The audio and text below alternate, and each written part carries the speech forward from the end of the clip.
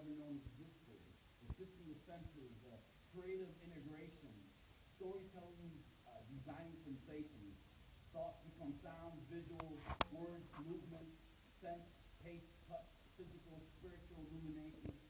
Imagination differentiates us from everything